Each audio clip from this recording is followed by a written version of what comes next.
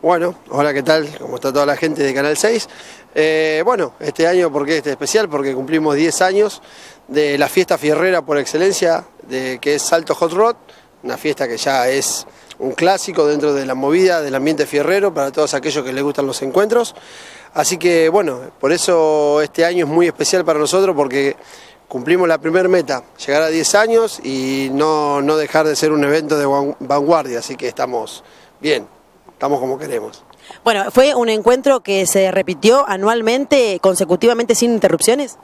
Sí, claro. Eh, bueno, si bien tuvimos las inundaciones del 2015, después el 2016 que no pudimos estar en el camping, hemos ido mutando de un lugar a otro, el Club Sport en su momento nos cedió las instalaciones, pero no hemos descontinuado el encuentro. A lo mejor alguna vez, no con el glamour, que podemos lograrlo en el camping, pero no lo hemos descontinuado, son 10 años continuos y veníamos de años anteriores en otras ciudades, pero hasta que nos pudimos venir a Salto para ser el primero y de acá no nos movimos más, que nuestra casa, que es donde lo queríamos hacer siempre, todos los años. Y bueno, acá estamos, cumpliendo 10 años y orgullosos de eso.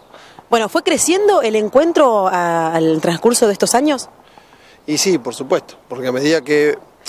Porque la base de, poder crecer es, todo, todos los, los años aportar algo más, algo nuevo y durante el año trabajar y además sumar gente.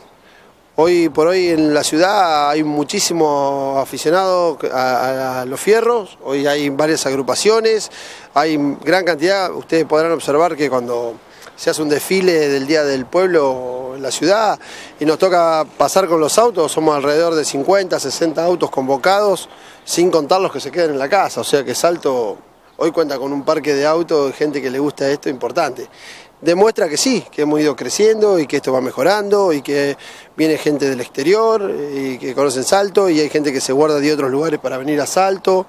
O sea que sí, sí, sí, una movida importante y reconocida afuera, dentro del país y fuera del país también. O sea que eso es lo que más nos, nos enorgullece porque nunca crecimos, nunca creímos poder cruzar las fronteras con el evento y hoy tenemos gente que nos va a visitar de Estados Unidos, gente que nos viene a visitar de Chile, gente que nos viene a visitar de, Uruguay, de Brasil, entonces es como que, no, por ahí no son 200 personas, pero con que vengan 5 ya es porque ha, cruzado la frontera, eh, o con que venga uno nomás.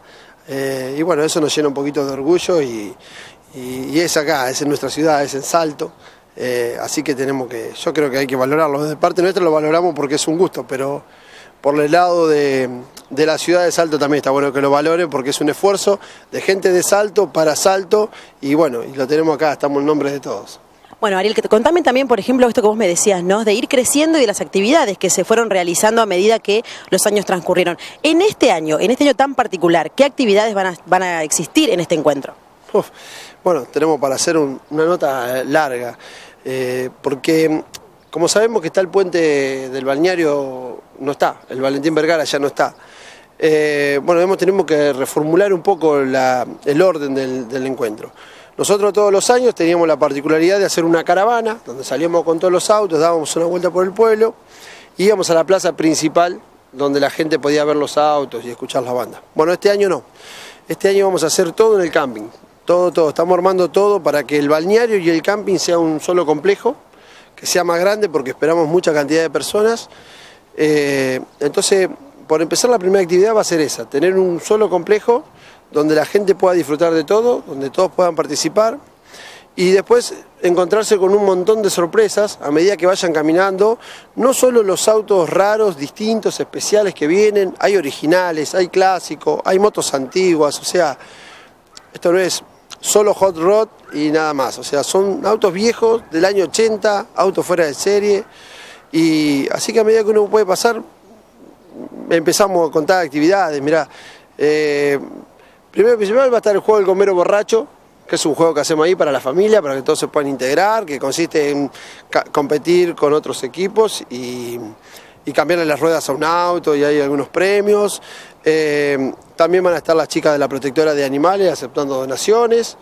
Eh, después vamos a tener, estamos trayendo que hemos encontrado, que estaba perdida, la Santa Milonguita, la original, la de, la de Minguito. Así que la gente va a poder revenir, arrimarse, sacarse una foto con la Santa Milonguita, los papis poder decirle a sus hijos qué auto era ese cuando veían alguna película. También estamos por traer el topolino de Aníbal, eh, o sea que va a estar la Santa Milonguita, la original, junto al topolino original de Aníbal, eh, como atracción para ver. Eh, después tenemos bueno, todos los puestos que hay de feria para que la gente pueda comprar repuestos de auto, se pueda llevar una remera, un recuerdo, lo, lo que quiera, eso va a estar. Y está el patio de comidas, va a haber un patio de comida con gente que viene de afuera, con diferentes platos gastronómicos, desde para el mate hasta la comida de la noche, o sea, está todo cubierto, eh, como se hacía en la feria del plato acá en, la plaza de nuestra ciudad. Bueno, lo vamos a tener nosotros en el encuentro para que la gente del pueblo también encuentre su lugar y pueda venir a participar.